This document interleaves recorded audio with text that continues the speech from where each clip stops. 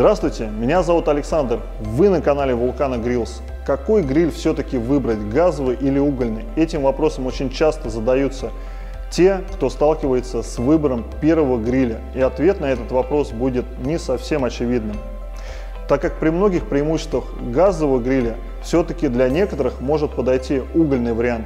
Определиться с выбором я постараюсь помочь в этом видео. Итак, чем нужно прежде всего руководствоваться при выборе гриля? Первое – это бюджет, какую сумму вы готовы потратить на покупку гриля. Второе – частота использования и сколько времени вы готовы тратить на готовку. Третье – какие блюда вы будете чаще всего на нем готовить. И четвертое – это то количество человек, для которых вы будете использовать ваш гриль. Полноценно оценив каждый из этих пунктов, вы сможете выбрать на каком виде топлива гриль вам больше всего подойдет и определиться с размером гриля.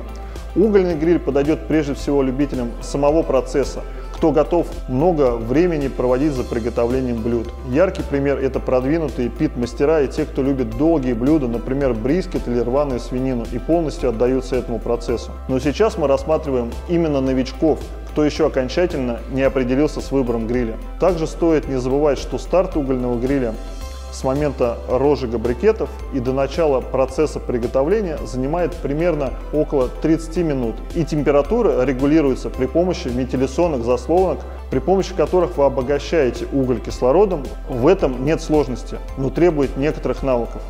Зона прямого и непрямого жара придется регулировать также вручную при помощи разных закладок угля. Но для многих процесс приготовления на углях наиболее близок, так как переход с обычного мангала на угольный гриль более понятный вариант.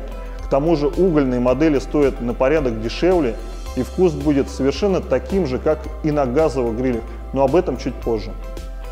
Газовый гриль подойдет всем тем, кто ценит свое свободное время – кто живет за городом, а, на нем очень просто готовить и запуск гриля составляет всего 5-7 минут. Достаточно включить горелки, закрыть крышку и довести гриль до нужной температуры. Регулировать температуру и зоны жара также довольно просто поворотом ручек регуляторов.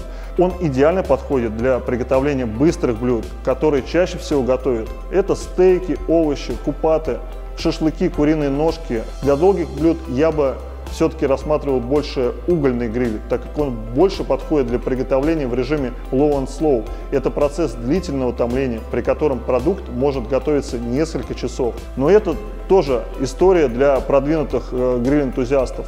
При большей стоимости газового гриля, в отличие от угольного, хочется отметить экономию по топливу. У газового варианта, так как заправить газовый баллон стоит как приблизительно мешок угольных брикетов, которых хватит на одну, максимум две готовки, а целого заправленного газового баллона многим может хватить на сезон.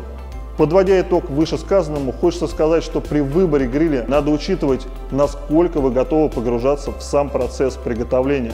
Немало важным является финансовая составляющая данного вопроса так как угольный гриль будет стоить значительно меньше. И, наконец, развеять миф о том, что угольный гриль дает больше аромата, так как в процессе приготовления дымный аромат дает тот сок, который капает на угли, а в газовом от испарения сока с пластин отсекателей жара, которые расположены над горелками гриля. Подписывайтесь на наш канал, делайте правильный выбор, ставьте лайки. Всем пока!